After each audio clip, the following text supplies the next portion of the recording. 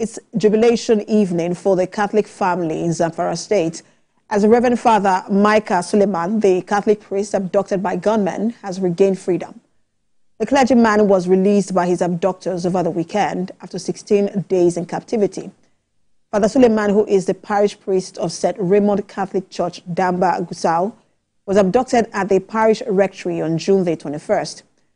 The Director of Communication of the Catholic Diocese of Sokoto, Reverend Father Pascal Salifu, confirmed the development in a press statement. It says the kidnapped victim is currently receiving treatment at a medical facility. Police authorities in the state also confirmed the release of Mikah Suleiman.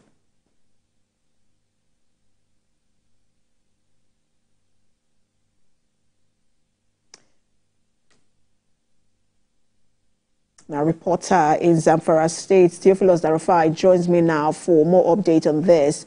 Um, Theophilus, this has to be good news for uh, the Catholic community there. What more can you tell us about his release? Uh, yeah, just as, as you said, uh, it's a happy day for the parishioners of St. Raymond Catholic Church, uh, Damba in Gusau, because uh, the parish priest has been released after 16 days in captivity. Uh, initially, the bandits demanded 30 million naira ransom for his release, but then later reduced to 10 million naira. But as it is, it is unclear to us if uh, ransom was paid for his release or not. But then the parishioners and residents of Zamfara State as a whole are happy with this uh, development. Mm. Uh, we understand that he's currently receiving treatment at a medical facility. Um, was he sick? Was he beaten? Why the medical treatment?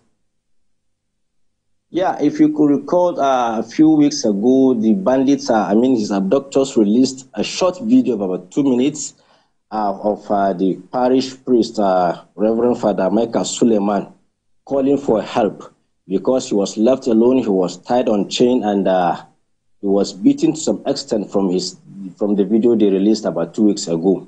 So I think he was tortured by his abductors. So that's why he's receiving medical attention at a undisclosed medical facility. Thank you, Theophilus, for that update.